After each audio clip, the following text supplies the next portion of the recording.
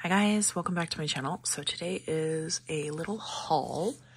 Um, I was away for the three day weekend and it's super early right now, so I have shadows because I don't have my filming stuff installed.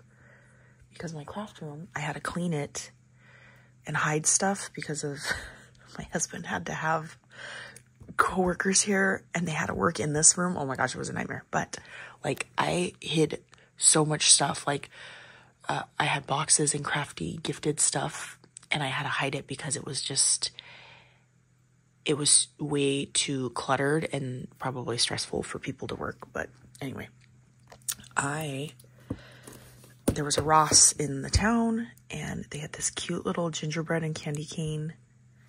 And it's like a I'll show you right now. Dollar General has the same stuff. So I went here first and that's why I got this. I don't know if I want to put this on my mantle or leave the Walmart one. I put the Walmart one up. How cute that is. Um, $8.99. The Walmart one was $8 basically. So for a dollar more, this one's way better quality. But I think I might chop it up and use those as dangles. But then look what I found at Dollar General. So I had to go to two different Dollar Generals. The first one, you guys, I will ins insert a photo right here. I walked in and my face kind of literally my jaw dropped to the floor like, uh, where's the Christmas stuff? Like, I could not believe how messy and cluttered the store was.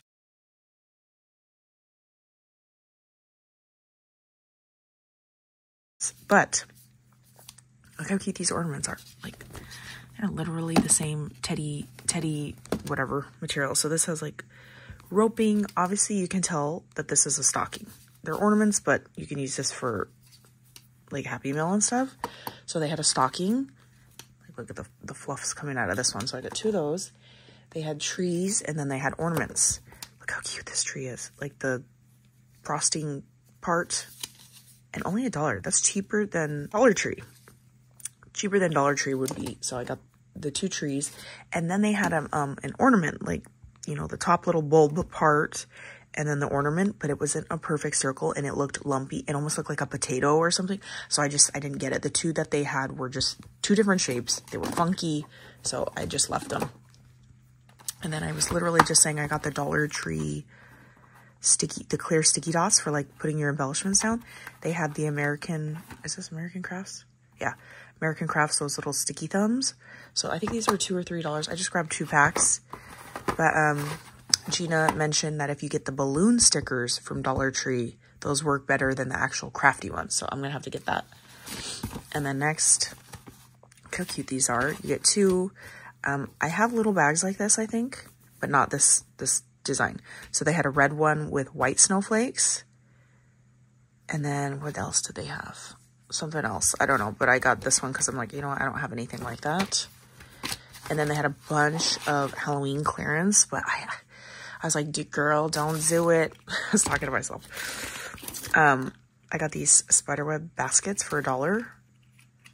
Um, they're pink. They're super cute. I want to host a Halloween something. Maybe next year. Maybe the next year after that at my house. I don't know yet because oh, my two-year-old, she is a handful and I just don't, I, I don't want that chaos if she's gonna not be good. okay. And then the reason I went to Dollar General because was Betty, um, Scrap Passion 01 here on YouTube and on Insta. She made cute little baking, like she put baking stuff with, I think a spoon. I don't know what it was. I can't even think. I just saw the bag and it was so, so cute.